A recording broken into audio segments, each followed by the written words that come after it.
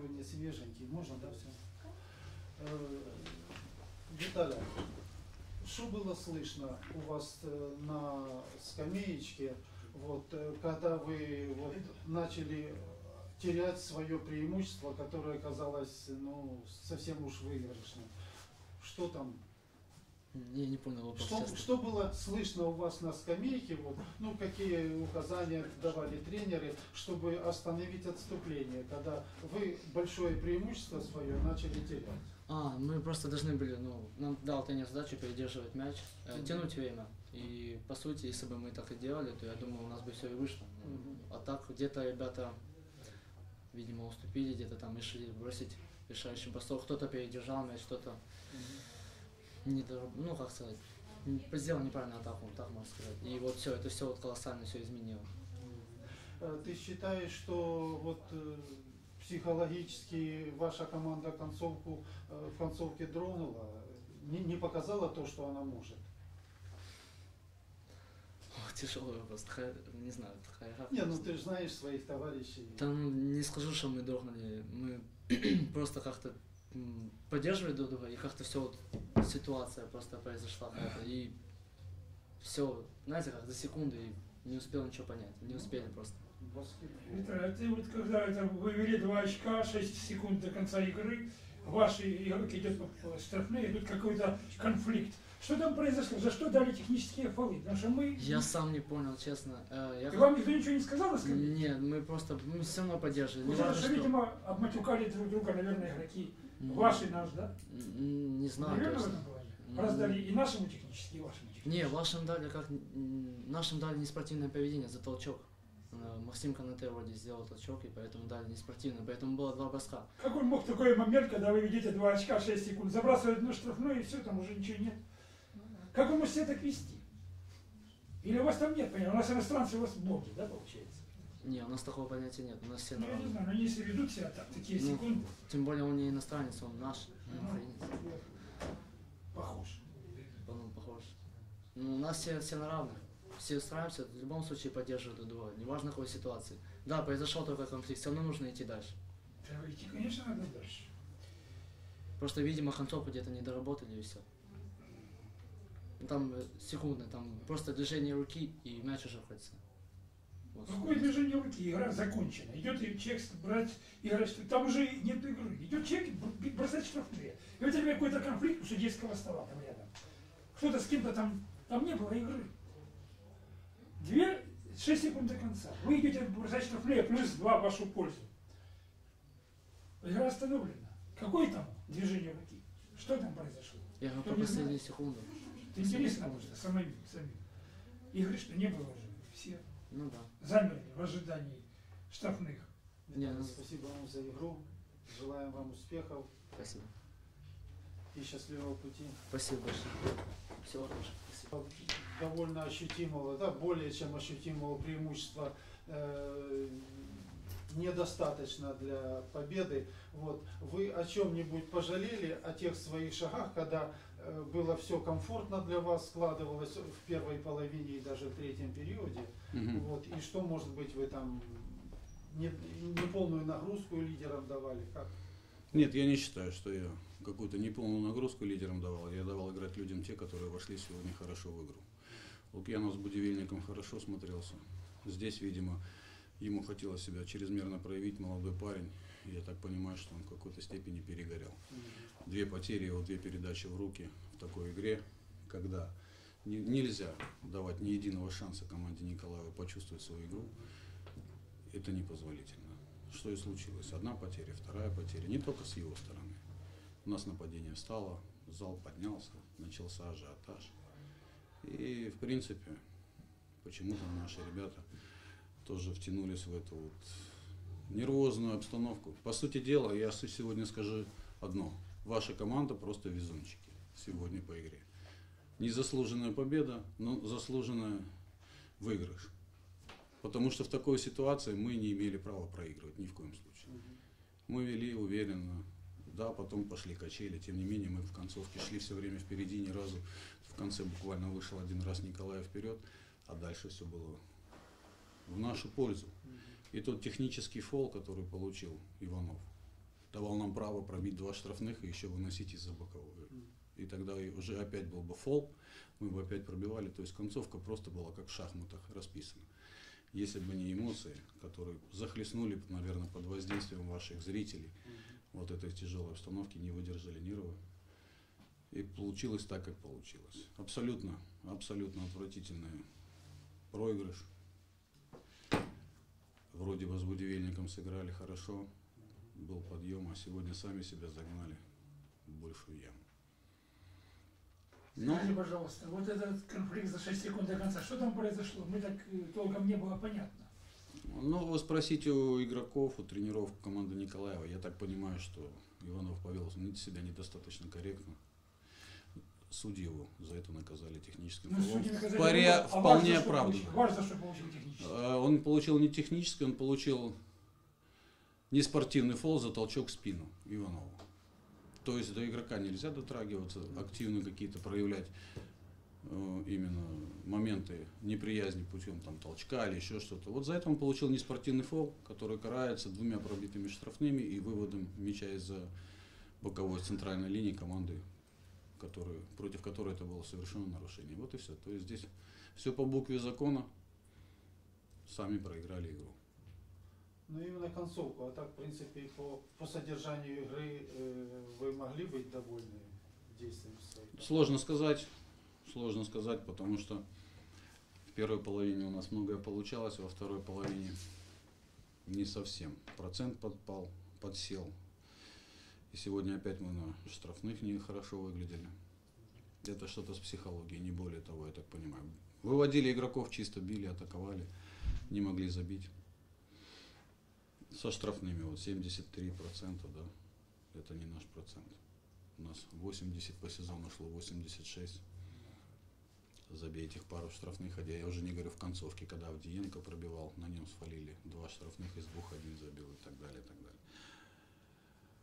Как не обидно, Я- но, но- но так- на такие чудеса только в баскетболе бывают. И вот Вы знаете, как это не обидно, но играют не роботы, а люди, поэтому всегда присутствует человеческий фактор. Я думаю, сегодня в концовке он проявился в полной мере.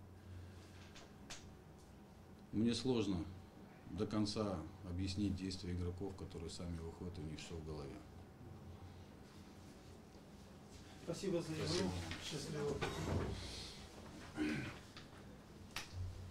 С победой вас. Артем, э, Спасибо. скажи, пожалуйста, вот как э, вот последнюю атаку там намечалось, кому бросать, кому зачем идти, и как э, ты вот помнишь свои действия, как удалось пробраться, так сказать, до Ну, была задача агрессивно пойти в проход, кто побыстрее Тонченко или кто. И там, ну, пойти в проход бро- бросать с ближней, ну, с под кольца или со средней дистанции. Ну, так получилось, что он бросил, промазал. Мы все уже туда пошли на подбор. Ну, Ну, удачный отскок, где повезло подбить и мяч в кольцо.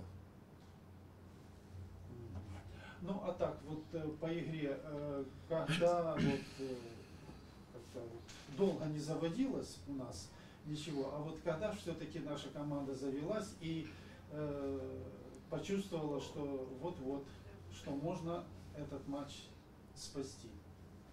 Ну, когда мы проигрывали там 21 очко, уже все, ну, не получалось защите, нападение тоже так, ну, среднее было. И потом просто, как, ну, ребята, ну, поговорили, чтобы в защите более агрессивно, мы начали более агрессивно заступ делать, там несколько удачных перехватов, где они даже несколько раз по кольцу не успели бросить в защите очень хорошие действия были. Включились как-то так. И потом еще забили в этот момент. Чуть-чуть сократили дистанцию. И уже когда ушли в половине, уже в раздевалке чуть по-другому настраивались. Ну, они, ну, они не знали, что делать против э, такой агрессивной защиты. Не были готовы. Спасибо за игру, спасибо за Вам победу. спасибо за поддержку. Выглядело особенно, ну вот, можно сказать, большую часть, первую половину матча команда выглядела как-то не собранной, не готовой, то ли у отдельных игроков не получалось, то ли вообще настроя как-то не было. В частности, и э, завелись поздно и Тонченко, и Кушнеров, основные, так сказать, разыгрывающие. Вот. В чем там э, была причина, и какая-то была объективная, или, может быть, это субъективный фактор какой-то? Ну, начнем с того, что выпал в первой половине Игорь Батюк Андрей и Александр Кушнеров. Вот. И наша защита как бы давала слабинку. Те моменты, которые мы обговаривали на тренировках, тренировали те моменты. Э, В игре они были сыграны не до конца правильно. Кто-то или поздно выходил на подстраховку, или забывал выходить. Вот эти моменты они были ключевыми. Вот. Плюс нападение запорожцы просто перекрывали нам всевозможные ходы, и ребята чувствовали себя неуверенно, когда не получается ни защита, ни нападение, за этого провал. Плюс мы во второй четверти тоже катастрофически проигрывали щит, это все влияло на результат. Ну, в раздевалке попросил, чтобы команда сыграла более строже. Любая возможность убежать быстрый прорыв должна была использоваться. Плюс активизировалась, чтобы команда на подборе. Ну, вот это все дало свои результаты. Плюс Александр Кушнеров сыграл значительно лучше во второй половине, чем в первой. У Тонченко ни травмы, ничего? Не травмы, просто Галенко выглядел более лучше. Мгм. Плюс задача была держать высокий темп, поэтому частые замены были. Вот. Ну и в определенный момент Галенко очень удачно играл, поэтому Тонченко чуть больше пересидел. Что сегодня было с Тонченко? Что-то явно был не в своей тарелке. Я могу пригласить его на пресс-конференцию и спросить у него. А Вы главный тренер. Как будто он где-то облаках. Последнюю атаку все по плану получилось? Э, об- обсуждали, кто должен пойти в проход, кто должен бросать или... Если бы все было по плану, мы бы уже выиграли заранее эту игру. Иногда приходится игрокам импровизировать, потому что защитники тоже не сегодняшние да, игроки новые, а опытные люди выходят в концовке доигрывать. Поэтому всегда сложно. И в таких моментах должна быть и импровизация, и большая доля везения. Потому что, по большому счету, это уже лотерея. Сегодня нам повезло. Сергей, вот вы прошлой пресс-конференции после игры с Химиком Кубковой сказали, что в команде дела, скажем так, мягко. Улучшения пока Мягко, нет. да, ну вы понимаете, о чем я говорю. И сегодня было подтверждено, что нет ни группы поддержки, ни наши уважаемые коллеги, журналисты, которые обычно ведут онлайн, они его не вели, просто была картинка. Я первую, первую половину смотрел дома, Гранатопе.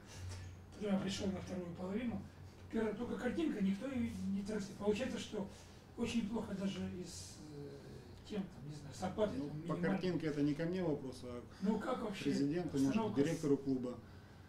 Ситуация материально пока не улучшилась, хотя есть обещание, пожелание, что скоро должно все наладиться. Ну, пока что в ближайшие дни мы потеряем Александра Кушнерова. Я, кстати, об этом сегодня подумал. То есть он уже собирается покидать. Да, Известно, куда он уходит? в Одессу. Это будет э, ну, игры на, на Днепре он еще будет? Да. И. Только один игрок пока. То есть, Ну, пока не только один. говорили. Можете в процентном отношении оценить сегодня профессионализм и везение вашей команды и? Чего было больше? Профессионализма у нас было больше, скажу так, во второй половине, когда все собрано сыграли, выполнили установки, которые у нас были на игру. Вот тогда команда видела, видно было, что играет с полной самоотдачей. Перекрыли все передачи, сыграли агрессивно на пик-н-роллах, и это дало свои плоды. В первой половине мы очень низкий процент профессионализма. Ну и концовка игры здесь больше удачи, потому что такая каша была под кольцом, толкнули мяч, и он оказался в корзине. Это ж не целенаправленный бросок по кольцу. был. Сергей, ну как вы будете готовить команду э, с- э, матч, к матчу с Днепром, потому что Днепр это не Запорожье, это Ну, сильная команда. Давайте не будем все секреты раскрывать, не будем торопиться. Придет игра, увидите. Спасибо за игру. за Я хочу поблагодарить наших болельщиков, которые очень горячо поддерживали наши ряды. Спасибо всем. Игроки это чувствовали, и эта поддержка несла их как на крыльях в атаку. Спасибо большое. Спасибо.